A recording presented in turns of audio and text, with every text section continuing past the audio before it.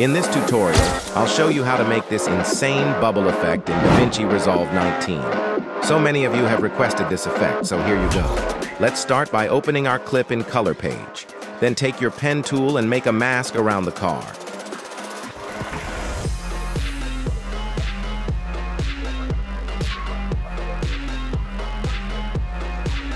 Head on to the tracking window and track the mask. As you can see, my tracker tracked poorly. Press on this frame button and fix the mask manually.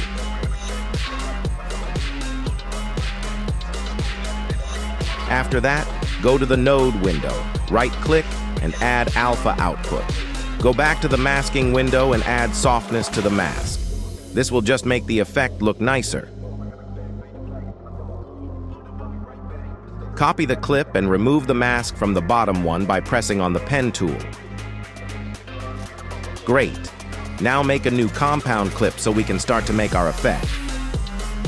Open it in Fusion Page. Copy the Media In node like this. Add a merge node for it. Copy both of them and connect them like I do.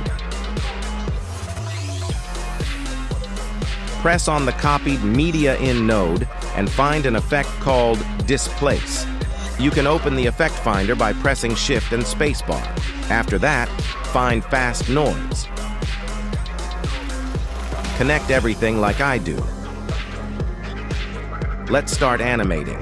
Begin with bringing up refraction strength to about 3.0,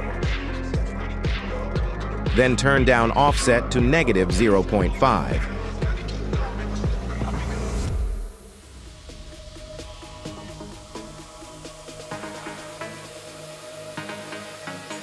Then select the Fast Noise node. I'll adjust the center value a little bit.